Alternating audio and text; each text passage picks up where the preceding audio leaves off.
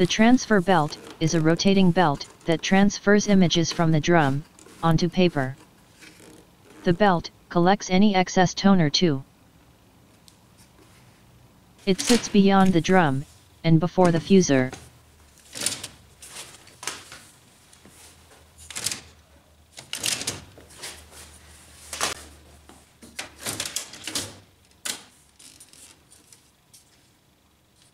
Note that there are various printing technologies. Some printers do not use transfer belts. The defects related to the transfer belt are registration errors, which occurs especially when printing color images, blurring, unintended color fringing, light or dark streaks, often on the edges of the printouts. Repeated defects, always at the same distance, may not be caused by the transfer belt.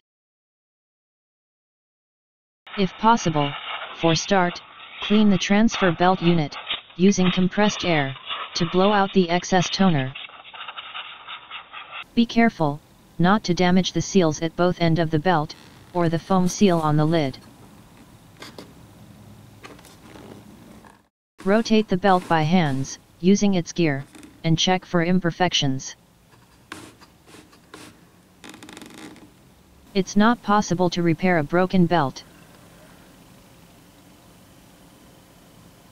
Place the unit on a level surface, to avoid that the waste toner is pushed back onto the belt, from the waste bin. Clean the belt, with a soft cloth, and a mixture of water, and isopropyl alcohol. Do not touch the belt, as oils on your fingers can damage the belt. Wait until the belt is completely dry. Then turn the belt again, and clean another part of the belt. Repeat the operation, until all the belt surface is clean.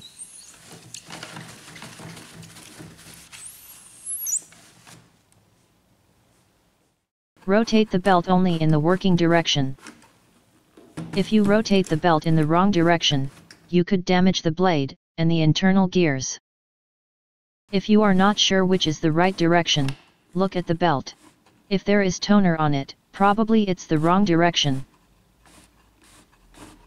Inside the unit, there is a rubber wiper blade.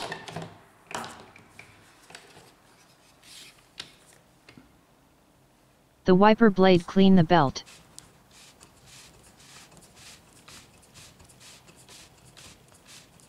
If the belt wiper blade is damaged, you'll have vertical toner lines on the belt.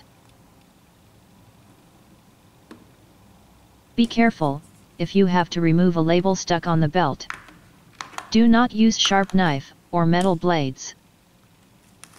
There is a chance, that print quality will not improve, because the glue is taking off parts of the belt material.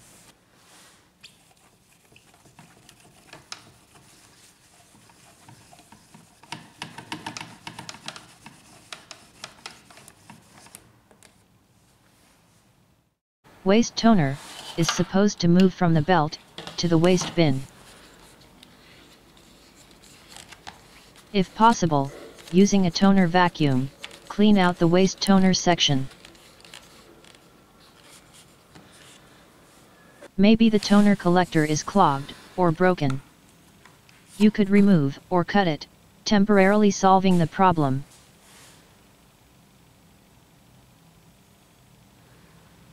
Also, note that the belt is light sensitive. Exposing the belt to light for an extended period of time may render it useless.